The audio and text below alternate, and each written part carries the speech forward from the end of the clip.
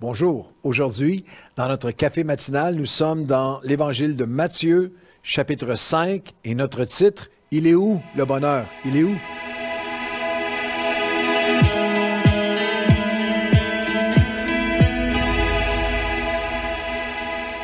Bon matin à tous et bienvenue à votre café matinal. Nous traversons les évangiles avec euh, un café matinal par chapitre. Si vous avez manqué les quatre premiers, ils sont déjà là en ligne, Matthieu 1, 2, 3, 4. Et lorsqu'on arrive à Matthieu chapitre 5, mon titre un peu plus long aurait pu être La prescription de Jésus pour le bonheur. La prescription de Jésus pour le bonheur. J'ai lu un article euh, récemment basé sur une étude scientifique du Wall Street Journal, mais euh, qui euh, a fait un, un, article sur l'indice du bonheur. Ils ont cherché à déterminer les différentes variantes de l'indice du bonheur des nations du monde. Et le titre est assez révélateur de la direction de l'article. Le titre était Les pays les plus riches, les citoyens les plus tristes, une coïncidence? Parce qu'ils ont fait, ils ont vu un rapport direct avec euh, les pays. Euh, il y a une autre étude qui va dans la même direction, où, certains des pays les plus industrialisés, les plus au niveau matériel élevé, avaient euh, les, les plus bas taux de bonheur de la part des gens. Une autre étude plus récente de l'Organisation mondiale de la santé, cette fois, avec la faculté de médecine de Harvard, une des plus complètes que j'ai vues parce qu'ils ont interviewé 60 000 personnes aux États-Unis face à face euh, et euh, se sont mis par la suite à étudier à travers différents pays. Il y a eu 14 pays étudiés. Les cinq plus riches avaient, euh, les, les cinq pays les plus riches avaient les plus hauts taux de dépression, idéation suicidaire, euh, d'anxiété, de surconsommation d'antidépresseurs ou de dépendance à, l'alcool ou au cannabis. Euh, de, les, plus heureux et les plus hauts taux étaient euh, des pays, ils ont, c'est un, lien assez intéressant, un, très haut taux de correspondance avec les cinq pays où le christianisme et la foi chrétienne est plus de 30% de la population. Le pays avec le où les gens semblaient le plus heureux étaient les Nigériens. Je ne crois pas que les Nigériens doivent avoir le monopole sur le bonheur, mais je crois que c'est absolument le désir, la passion de Dieu que son peuple, que ses enfants, que vous et moi puissions marcher, euh, puissions marcher avec un, niveau d'apaisement, de paix, de bonheur, de, luminosité émotionnelle et relationnelle qui nous distingue de toutes les nations euh, du monde. Et c'est pour ça qu'on regarde, lorsqu'on regarde à l'évangile de Matthieu chapitre 5, il y a ces huit versets qu'on appelle les béatitudes, les attitudes du bonheur, où Jésus dira, euh, heureux celui qui, heureux celle qui va. C'est le plus grand discours ou message de l'histoire humaine apporté. On a, on a toutes sortes de discours en tête qui ont marqué euh, l'histoire. I Have a Dream de Martin Luther King. On a euh, le, discours de John F. Kennedy. Ne demandez pas ce que votre pays peut faire pour vous, mais ce que vous pouvez faire pour votre pays. Plusieurs autres discours. Mandela a quelques discours qui ont marqué vraiment l'histoire, mais sans aucun doute, le message, le discours le plus significatif, marquant de toute l'histoire humaine, c'est lorsque Dieu se fait chair en Jésus-Christ le plus grand discours avec le plus grand communicateur de tous les temps, Jésus qui enseigne sur les, les attitudes du bonheur. Huit versets dans Luc, dans, pardon, dans Matthieu chapitre 5, que Jésus développe par la suite dans trois chapitres euh, qui, euh, dans, dans, ce qu'on a appelé le sermon sur la montagne. Et c'est intéressant, si vous y pensez, que le premier message de Jésus est un message sur le bonheur. Heureux ceux qui, heureux celui qui. Il y a un équilibre important à voir là-dedans.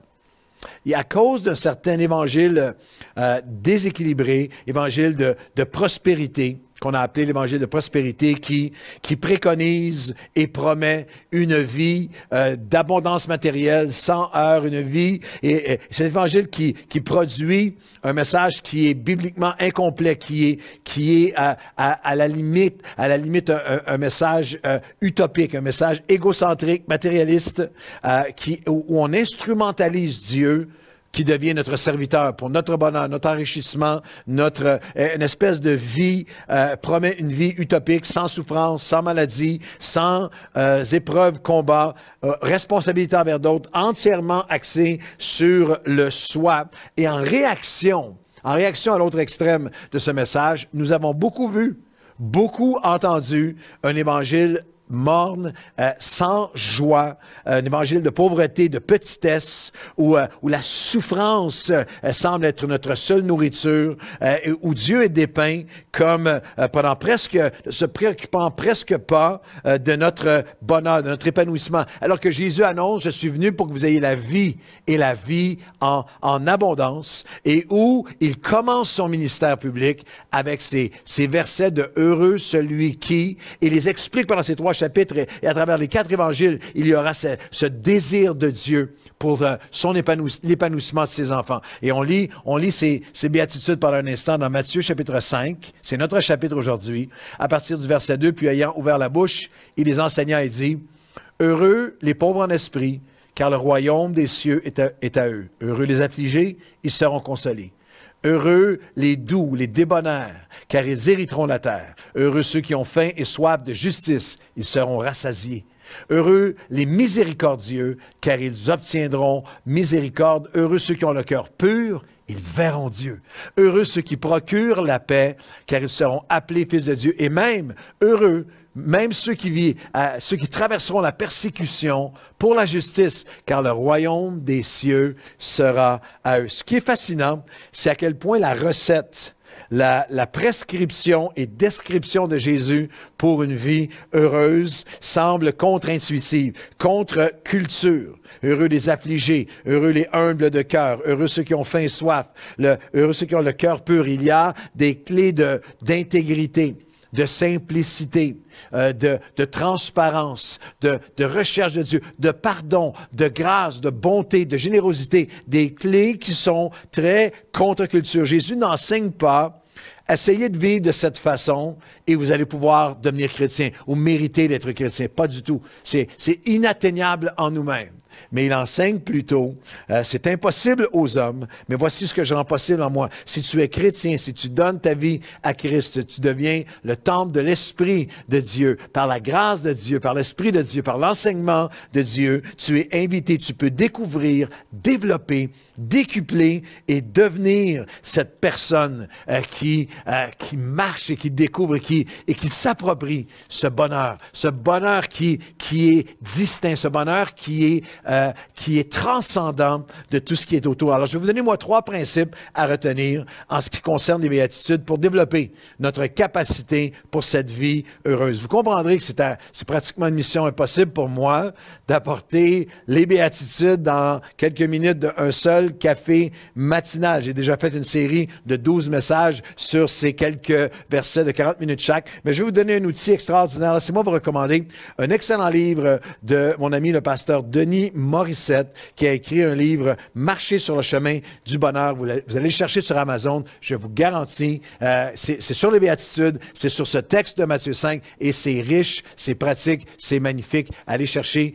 euh, Marcher sur le chemin du bonheur de Denis Morissette, et vous allez être bénis. Mais voici trois clés simples, trois clés, pardon, simples pour nous approprier, euh, pour mieux développer les béatitudes, mais surtout notre capacité à une vie heureuse selon Christ. La première, c'est que le bonheur n'est pas dans des possessions extérieures, mais dans la personne que Dieu nous aide à devenir. Chacune, chacune, de ces, chacune de ces béatitudes, chacun de ces heureux, ceux qui, celui qui, sont intérieurs vers l'extérieur et non inverse non conditionnel à un extérieur, à une condition extérieure vers l'intérieur, comme, euh, comme notre monde le prétend. Le bonheur n'est pas dans ce que tu as ou n'as pas, va avoir ou a perdu ou souhaiterait ou, envie de d'autres. Le bonheur est dans qui tu es et la personne que tu laisses Dieu créer, transformer, façonner et littéralement développer en toi. Lorsque l'apôtre Paul parle de la vie nouvelle que Dieu nous offre, la prescription de Jésus pour le bonheur, s'accomplit dans, dans 2 Corinthiens 5, lorsque Paul fait un contraste. Il dit, il y a ceux qui tiennent gloire de ce qui est dans les apparences, dans l'extérieur et non dans le cœur, mais si quelqu'un est en Christ, il est, il devient intérieur une nouvelle créature. Les choses anciennes être passées et toutes choses intérieurement vers l'extérieur peuvent devenir nouvelles. Protège ton cœur par-dessus toute chose, car de lui euh, découle Proverbe 4, 23 car de lui découlent tous les enjeux, toutes les sources de la vie. C'est pas dans les, c'est pas dans les possessions extérieures, C'est pas dans ce qui est produit extérieurement vers l'intérieur. Le bonheur vient de l'intérieur vers, vers l'extérieur. Je me souviens, il y a plusieurs années, euh, dans mes tout débuts, euh, alors que je voyageais comme prédicateur, j'avais été faire une convention, prêcher une convention de jeunesse en Californie, à Los Angeles. Et après euh, quelques jours, euh, par la suite le dimanche dans une grande église. Et le lundi matin, j'étais dans ma chambre d'hôtel et on m'a appelé pour me dire, il y a un monsieur de l'église qui aimerait prendre un café avec vous. Est-ce que vous auriez quelques minutes? J'ai dit, pas de problème. Ils ont dit, parfait, on envoie quelqu'un vous chercher. Alors, je suis sorti, j'étais dans la jeune vingtaine, je suis sorti sur euh, le pavé de l'hôtel, j'attendais et j'ai vu arriver une limousine et, et et allongé, un stretched limo, et j'ai même pas porté attention parce que ça, c'est pas pour moi certain. Et là, d'un coup, le, chauffeur sortait, vous êtes Monsieur Hood, vous êtes le pasteur Hood? Je dis oui, c'est pour vous, je m'en viens vous chercher, j'étais interloqué. Dans la voiture, on a monté les, les collines de Beverly Hills. Je vous dis, on est arrivé à une maison, la gate qui s'ouvre, et il y avait des jardins avec des fontaines et tout. Le monsieur était un multi, multi, multi millionnaire. En montant dans sa maison, hyper impressionné, moi, je j'habitais à ce moment-là dans un 1,5, euh, un appartement, un petit studio, euh, comme évangéliste euh, chrétien. et en montant l'image, je me souviendrai toujours, il y avait de la construction, ça avait plusieurs étages à sa maison, un deuxième étage. Je lui ai dit, qu'est-ce que vous bâtissez ici? Il avait déjà une piscine somptueuse au rez-de-chaussée et il me dit, ah, ah, je fais bâtir une autre piscine parce que c'est vraiment dérangeant d'avoir à descendre jusqu'en bas pour la piscine. Et c'était l'homme peut-être le plus riche que j'avais rencontré en personne à ce moment-là. Et après quelques minutes, euh, pendant plus d'une heure. Il m'a déversé son cœur. Il avait entendu la prédication, ça avait percuté son cœur. son quatrième divorce, son enfant, son fils qui était dans un centre de désintoxication, sa fille qui était suicidaire, le, divorce, et tout pendant une heure. Et, j'ai prié avec lui à la fin, et en, m'en allant en voiture par la suite, je retourne dans la et je m'en vais, et j'ai littéralement eu cette pensée, je suis plus riche que lui je suis plus heureux que lui. Le bonheur n'est pas dans des possessions, dans la mais dans la personne que Dieu nous aide à devenir. La deuxième pensée, c'est que le bonheur n'est pas, n'est pas que possible, c'est la promesse de Dieu pour nous. Dieu n'offrirait jamais, ne demanderait jamais ce qui nous serait inatteignable ou impossible. Aux hommes, cela est, impossible, mais à Dieu, tout est possible. Et ça a besoin d'être dit. Il y a 8000 promesses de cette vie abondance que Dieu a pour toi. Mais ça m'amène à ma troisième clé, c'est que le bonheur est une poursuite une poursuite de vie progressive et conditionnelle et, et, correspondante à notre proximité avec Dieu. C'est important de voir que la fin du chapitre 4 de Matthieu, il y a une grande foule qui le suivait. Mais chapitre 5, nous lisons le verset 1.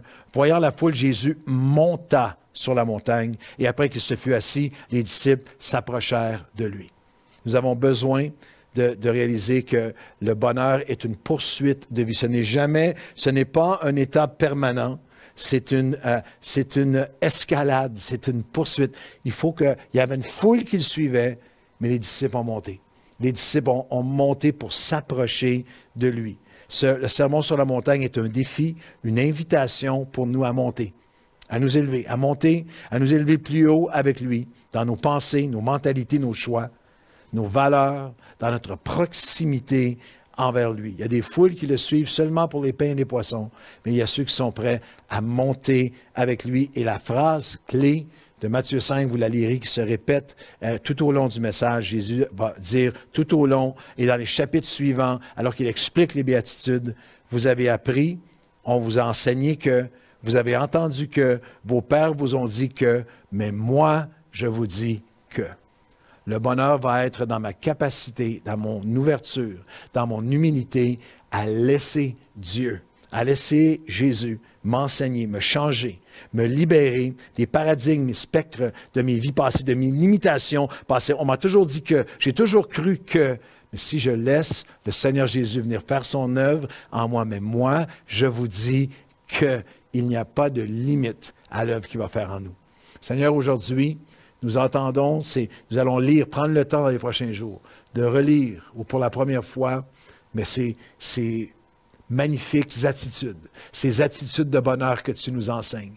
Nous sommes rappelés que ce, bonheur, cet état ne vient pas de l'extérieur, mais de l'intérieur vers l'extérieur. Que, que Seigneur, c'est une poursuite de qui tu es. Que Seigneur, ce n'est pas seulement quelque chose qui est, possible, mais loin de nous. C'est ta promesse pour nous. Alors aujourd'hui, permets-nous de nous approcher de toi à nouveau, de te poursuivre à nouveau, de monter vers toi à nouveau pour cette œuvre intérieure qui fait en sorte que nous allons transcender toutes les influences extérieures, que de l'intérieur du cœur de l'homme, tous les enjeux, toutes les sources de la vie et du bonheur, Seigneur, tu vas nous, nous alimenter dans le nom de Jésus. Amen et Amen. Bonne journée à tous.